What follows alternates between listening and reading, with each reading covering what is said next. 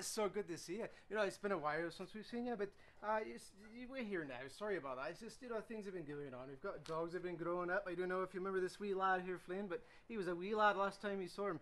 Um, but we're back again, and we're going to talk about grooming again.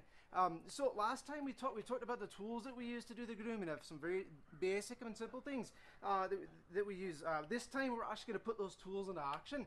So what I'd like to do is talk a wee bit about uh, getting the undercoat out using a line combing technique. Uh, it will talk about doing some of the furnishings and those things around here with the dog, back in the tail and back in the pants and those types of things.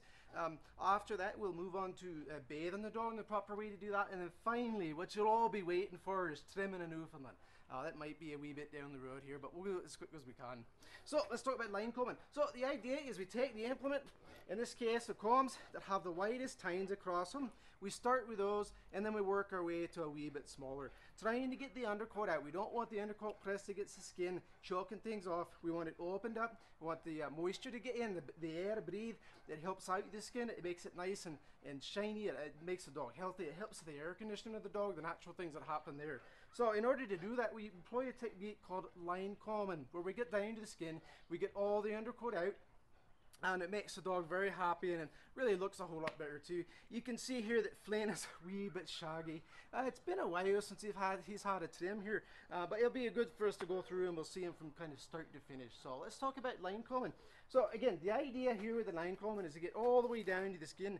Uh, so basically we're going to take it, the dog here, we're going to use our hand, we're going to lift it up, the fur as much as we can, and we're going to get down to the skin. Now you can see right right, right there. You see the skin showing up?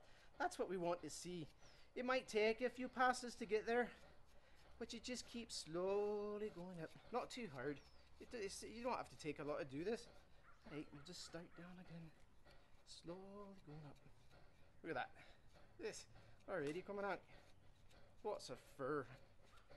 Brushed all the time, he's still got fur. Nah, it's about that time so they're blowing cotton. The idea is you want to make sure you get uh, get all the undercoat out before they start blowing it. You're going to have lots of mats to deal with it. It's not good for the dog at all.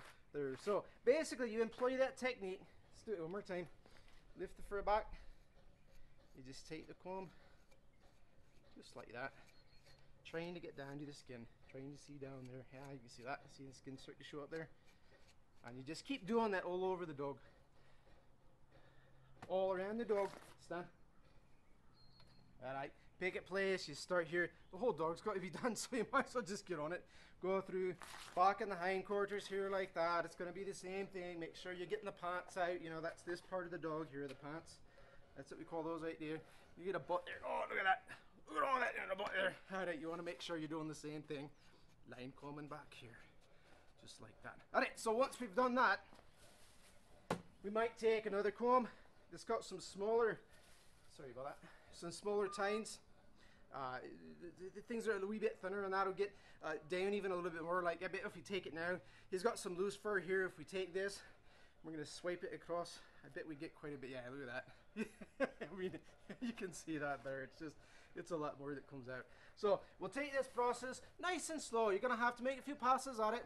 Uh, we'll go around the dog a couple of times. We'll make sure that it's all gone. That's the important thing. All of the loose coat has got to be gone that's that's the whole point is to get it out you there. Uh, make sure you're catching the fur as best you can. It makes a mess if you don't. So I'll put a bag there next to your table, that type of thing. You don't have to have a table to do this.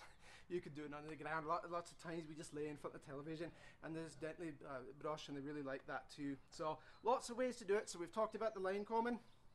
Uh, kind of a back brush technique, getting all the fur out um, and making sure that the dog's coat is nice in open. Uh, after that, we'll talk a wee bit about uh, the furnishings and then we'll go into bathing.